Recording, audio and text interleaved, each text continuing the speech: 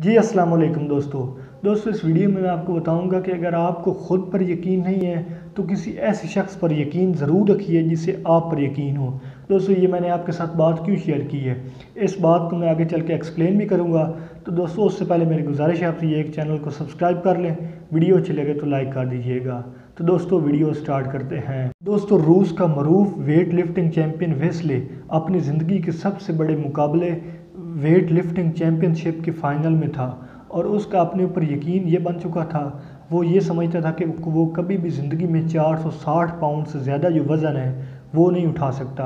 वो अपने से ही बातें करता रहता था और कहता था कि 460 पाउंड जो वज़न है, जो वेट है, इससे ज़्यादा मैं कभी भी नहीं उठा सकता। लेकिन उसका जो कोच था, उससे वेस्ले पर यकीन था और कोच जो था वो कहता था कि वेस्ले, जो तुम 500 पाउंड भी उठा सकते हो, तुम फाइनल में हो, तुम अपने ऊपर यकीन रखो, तुम 500 पाउंड भी वज़न उठा सकते हो। लेकिन वेस्ले जो था, वो आगे से कहता था कि कोच, नहीं, ऐसा नहीं हो सकता, मैं 460 पाउंड से एक पाउंड भी ज़्यादा वज़न नहीं उठा सकता।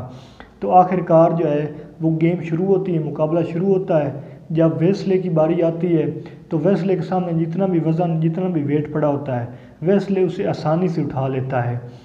जब आसानी से उठा लेता है तो सारे जो लोग बैठे होते हैं वो खड़े हो जाते हैं और फैसले के लिए तालियाँ बजाना शुरू कर देते हैं। इतनी देर में कमेंटेटर जो होता है वो रिज़ल्ट अनाउंस करता है और वो कहता है कि, कि 500 पाउंड का वज़न उठाने वालों के मुकाबले में जिसने गोल्ड मेडल जीता है इसका नाम वेस्ले है।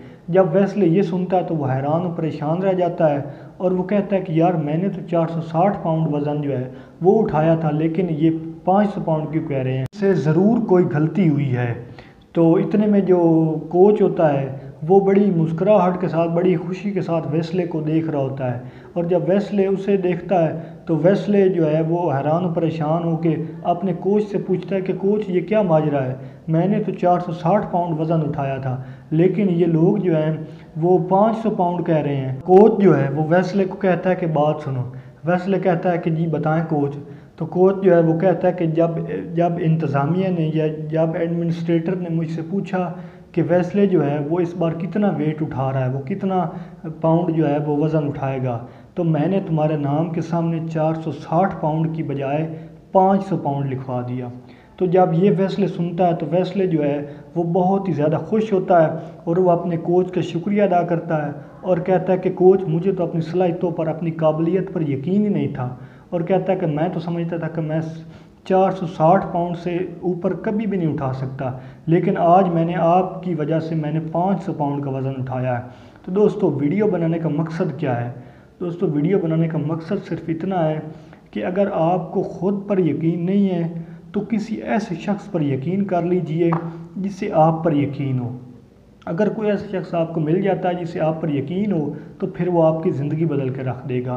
दोस्तों, ये जो मैंने आपको स्टोरी सुनाई है ये ये जो बात बताई है, ये सर कैसर अब्बास की न्यू बुक कामयाबी मुबारक से बताई है और इसके नीचे कैसर अब्बास लिखते हैं कि एक वक्त था, आज से कई साल पहले, एक वक्त था कि जब मुझे ये यकीन ही नहीं था कि मैं भी एक इंटरनेशनल अवार्ड याफ्ता मोटिवेशनल स्पीकर बन सकता हूँ या कोच बन सकता हूँ या राइटर बन सकता हूँ। लेकिन जो मेरे कोच थे, आरिफ अनीस उन्हें मुझ पर यकीन था और वो कहते थे कि यार तुम कर सकते हो। और इसी वजह से आज मैं international award winner motivational speaker हूँ राइटर हूँ और कोच हूँ। और यहाँ पर दोस्तों, पहले वाली बात मैं फिर दोहराऊँगा कि अगर आपको ख़ुद पर यकीन नहीं है तो किसी ऐसे शख्स पर यकीन कर लीजिए जिससे आप पर यकीन हो। तो दोस्तों, वीडियो से कुछ भी सीखने को मिला हो, चैनल को सब्सक्राइब कर लीजिएगा, वीडियो को लाइक कर लीजिएगा अल्लाह आपका अमीर नासिर हो। खुदा हाफिज़।